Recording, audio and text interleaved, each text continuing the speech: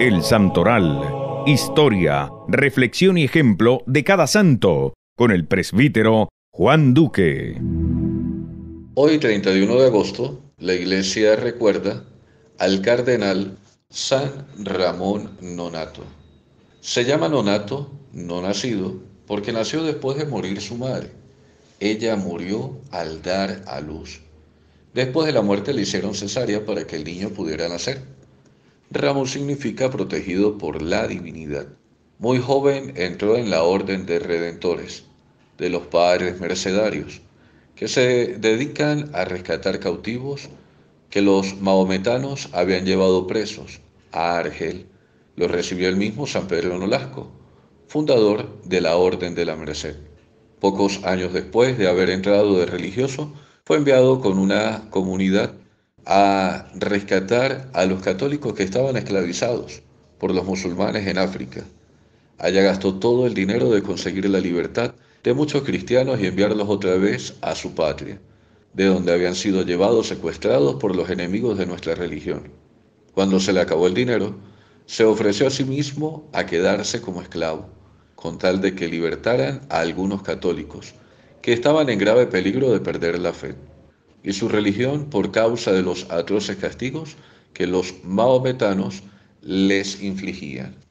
Como entre los musulmanes está absolutamente prohibido hablar de la religión católica, Ramón se dedicó a instruir en la religión a sus compañeros de esclavitud y aún hasta algunos mahometanos le dieron terribles tormentos y lo azotaron muchas veces hasta dejarlo casi muerto. Al fin, como no se callaba, le amarraron la cara a una correa, a la cual le echaron un candado, para que no pudiera hablar, y no abrían el candado sino cuando iba a comer. El jefe musulmán, con la esperanza de que Ramón volviera a España y le llevara más dinero para rescatar cristianos, lo dejó en libertad, pero se dedicó a hablar de nuestra religión, a cuantas más personas podía. Esto hizo arder en cólera a los mahometanos y lo volvieron a encarcelar y atormentar.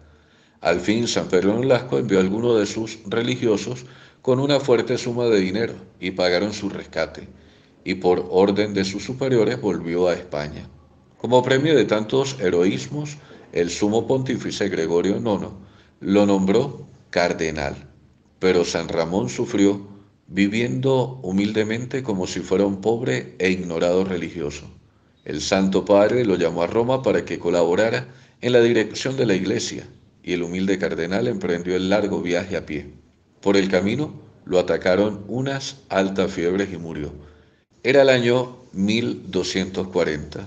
Apenas tenía 36 años, pero había sufrido y trabajado muy intensamente y se había ganado una gran corona para el cielo.